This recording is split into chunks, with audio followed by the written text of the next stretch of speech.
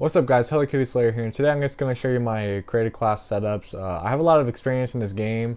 Um, I believe I have one day played, so I have more than most people do right now, so when you're seeing these videos, remember that some of these guys don't have a lot of playing time like I do. So anyway, I'll jump right into these classes here. Now the first one is the AN-94, it's the last assault rifle you unlock. Um, don't pay attention too much to my perks and all that stuff because all that stuff is really depends on what you like to run.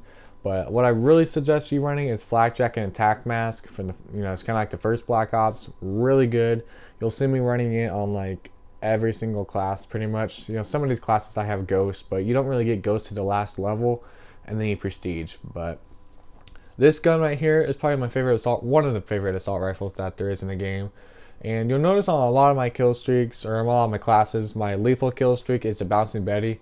I find that the Claymore really doesn't get you as many kills that, you know, you would think. And the Bouncing Betty is really improved.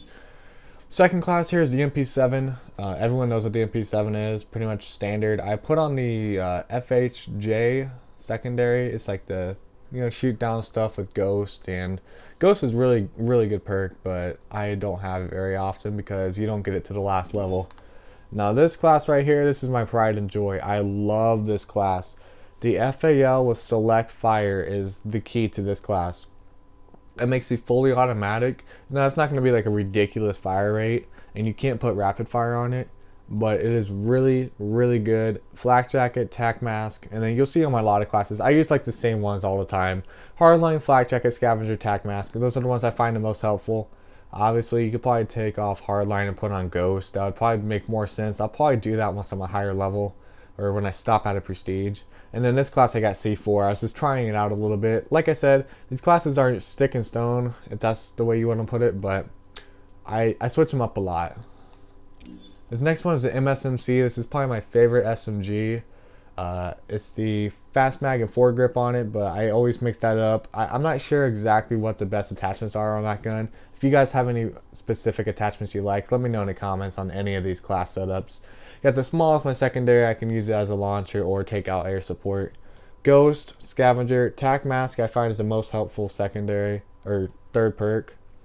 I, I don't know why. I just, you know, I play the more objective game modes and you know, hard point, stuff like that, and people love the stun, so. And then also got the bounce Betty and two concussions. This next class I've been using the past couple games, the KSG. This is one of my favorite shotguns. It, although, for some reason, you'll be shooting people and you don't even get a hit marker. If you do hit them, it's like an instant kill. Like, you're not going to get a hit marker on them. Pretty good class.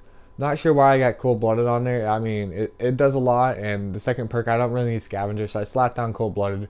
Flak jacket as always, tac mask, and I put on extreme conditioning to run around a little bit quicker because this is more of a, a rushing class for me with bouncing betties and stuns. And then my last class here, the Scar H, it's pretty much the standard Scar from all the Call of Duties.